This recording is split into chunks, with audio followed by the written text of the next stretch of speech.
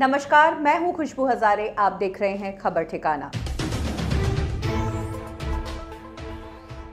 हिजाब को लेकर अभी सुनवाई कोर्ट में चल रही है और इंट्रीम ऑर्डर्स जो कोर्ट ने दिए हैं, वो ये दिए हैं कि जब तक इस पूरे मामले पर फैसला नहीं आ जाता है, तब तक लॉ एंड ऑर्डर मेंटेन करना है। पुराना जो ढर्रा चल रहा था, उसी पर चलना है। यानी कि स्कूल की तरफ़ से जो ड्रेस कोड दिया हुआ है, वही पहनकर स्कूल जाना है।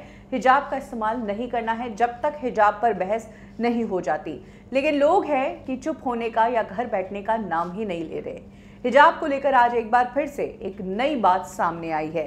एक स्टूडेंट को जब हिजाब पहनकर परीक्षा देने के लिए मना किया तो स्टूडेंट ने कहा, मैं हिजाब तो नहीं खोलूँगी, चाहे परीक्षा छोड़ दूँ। ये मामला शिव मोगा के एक स्कूल का है, जहाँ पर एक स्टूडेंट एग्ज़ाम देने आई थी। लेकिन वो स्कूल ड्रेस के साथ हिजाब पहनकर आई। अब स्कूल वालों ने जब उसे कोर्ट के ऑर्डर्स समझाए कि कोर्ट ने ऑर्डर दिया है कि आपको अभी हिजाब नहीं पहनना है, ये मामला अभी कोर्ट में चल रहा है, आप हिजाब उतारोगे, तभी आपको एग्ज़ाम देने दिया जाएगा।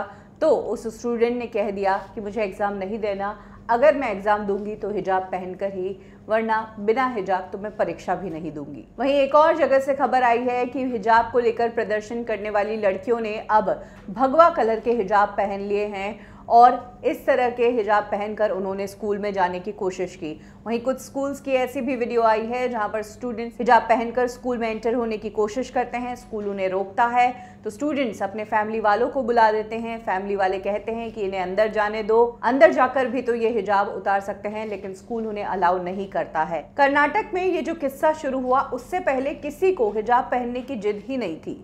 बिना हिजाब के स्टूडेंट्स आराम से जा रहे थे। लेकिन उस किस्से को अब बहुत ज़्यादा तूल दिया जा रहा है। और फ़िलहाल कोर्ट में इस पर डिस्कशन चल रहा है। उसके बावजूद जिस तरीके से प्रदर्शन किया जा रहा है, क्या आपको नहीं लगता है कि अब हिजाब को स्कूल में पहनकर जाना एक ज़रूरत नहीं, बल्कि ज़िद बन गई है?